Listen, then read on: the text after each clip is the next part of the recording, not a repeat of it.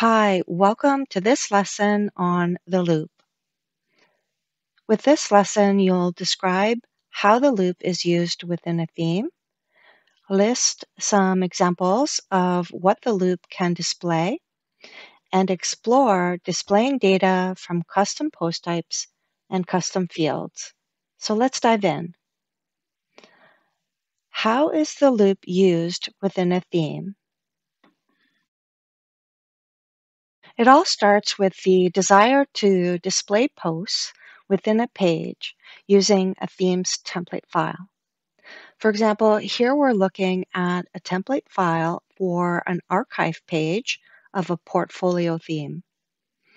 The loop extracts the data for each post from the WordPress database and inserts the appropriate information in place of each template tag for example, the title and excerpt of the post.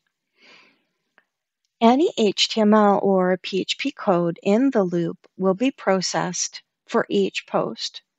And to put it simply, the loop is true to its name. It loops through each post retrieved for the current page one at a time and performs the actions specified in your theme.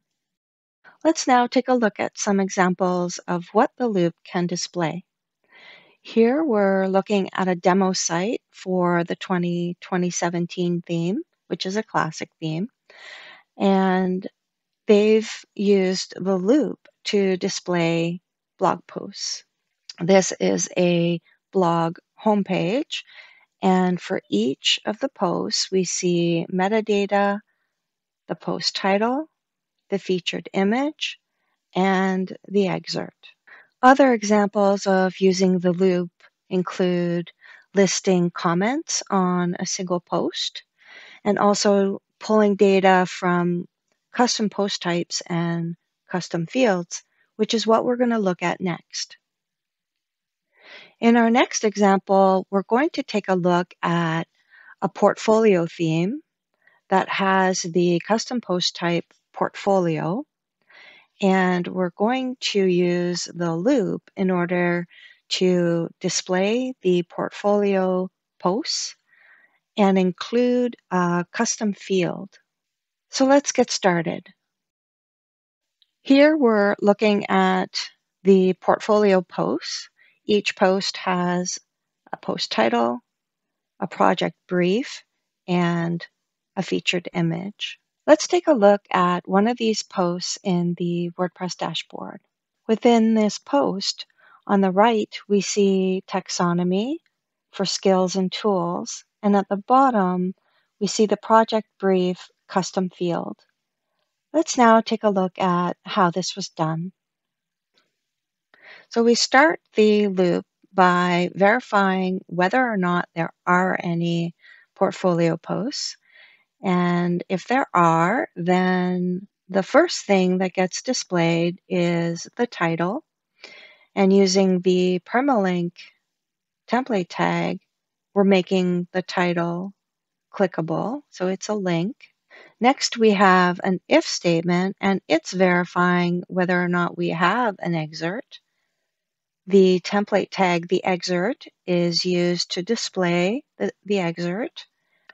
Next, we have the custom field, which is named CatMom text area. We'll take a look at how that was done in a moment. But this if statement here verifies whether or not the project information exists. If there is data within that field, it will get displayed here. Finally, at the bottom, we see the post thumbnail template tag being used in order to display the post featured image.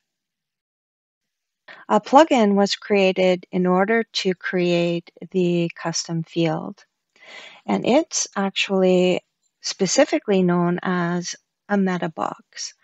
Now, this meta box is the project brief, and you can see here using the ID, we've got the cat mom text area field that we're referencing within the PHP code we just took a look at. To learn more about the loop, refer to the theme handbook available to you on wordpress.org.